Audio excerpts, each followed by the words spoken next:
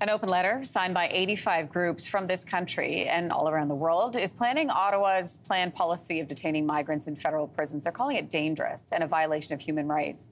The policy announced in the 2024 federal budget comes after all 10 Canadian provinces said they would no longer detain migrants in provincial jails. Joining us this morning from Ottawa is one of the signatories of the open letter, former Foreign Affairs Minister of Canada, Lloyd Axworthy, and chair of the World Refugee and Migration Council. Good morning to you.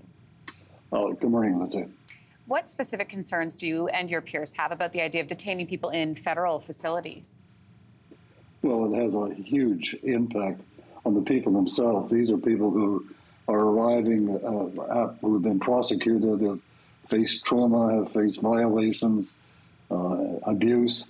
They're coming to Canada for sanctuary, and all of a sudden, uh, somebody at the border agency determines that they have to be put in a jail. And uh, now uh, the, the, provinces have recognized that that's an abrogation of rights. Uh, the federal government, and us, I think only a perverse decision, decided that they could now be incarcerated in federal penitentiaries. So we're saying, what is going on here? It's such a terrible transgression, I think, of Canada's reputation as a defender of the rule of law and of uh, human rights and liberties. Can you describe a little bit about the conditions, what they're like for migrants detained in prison? Uh, well, it's a variety, but the, the Human Rights Watch and Amnesty have documented very carefully that you've had people, sometimes they're in solitary confinement, they're subject to many of the same rules of incarceration.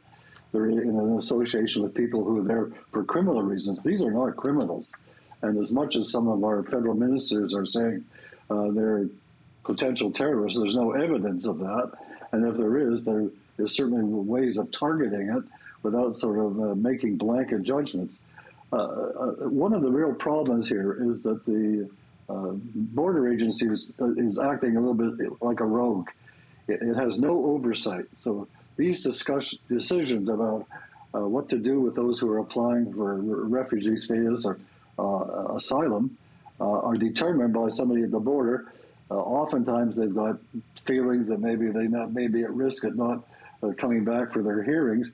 There's no reason to put somebody in a jail, and I think many of them actually have certain mental health issues.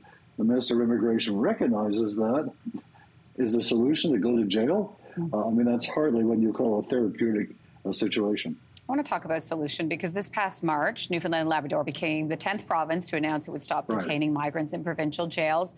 The Canada Border Services Agency detained 5,248 foreign nationals. This is from 2022 2023, and 16% mm-hmm. of those people were detained in provincial facilities. We're talking about 839 people or so. How should That's the federal government respond rather than use detention in federal facilities? Well, I think first uh, it, it, has to provide an oversight to these decisions. This is the only law enforcement agency in Canada that doesn't have uh, some accountability established for it. And secondly, to change the policy so that uh, people are not incarcerated, but are uh, working with community refugee settlement organizations to provide uh, a proper, safe environment, which can be monitored and, and that the certain rules can be established. But there is uh, every reason uh, the, the, government established $300 million to improve uh, its holding centers. Well, one of the, some money should be going in to make sure that they these are sort of proper, secure environments, but not sort of subject to the the, the rigors of a, of a jail sentence. Uh, mm-hmm. Uh, and because I think we, we, we've had people die in, de- in detention. Mm-hmm. 17 deaths have been recorded. And the coroner's report out of Toronto uh, two years ago said you have to stop this incarceration and jailing of people seeking asylum. Mr. Axworthy, the Immigration Minister Mark Miller has said that detention is only used for, quote, high risk detainees with severe mental health problems. What kind of history do these facilities have? You spoke a little bit about that with safely housing people. Well, I, I think it is very good. I mean, we, we're in touch with a number of the settlement organizations across Canada, and they do kind of yeoman service. They really are very highly focused on people seeking uh, proper settlement with the proper kind of treatments, the proper kind of therapy. And we've had a long history in this country of managing that very well under our sponsorship programs and others. But it seems the border agency has taken uh, its own pathway, and it's uh, been totally immune to any efforts to correct or, or, or mitigate the circumstances. It's kind of, you know, damn to be used, all speed ahead.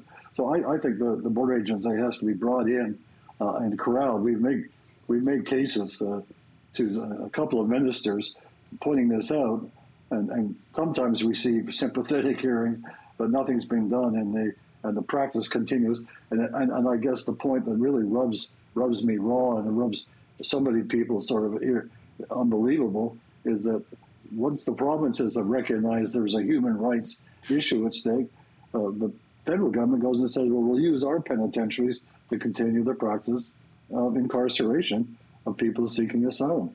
Makes no sense. Lloyd Axworthy, we appreciate your time and your thoughts this morning. Thank you. Thank you for having me. In response to our request for comment, a CBSA spokesperson said this quote, the safety and security of Canadians and the well-being of detainees are top priorities for the Canada Border Services Agency. The CBSA uses immigration detention as a measure of last resort, only after all suitable alternatives to detention have been considered and consistent with the Immigration and Refugee Protection Act. Hey, thanks for watching. If you liked this, be sure to subscribe here, or you can check out more Your Morning videos right here.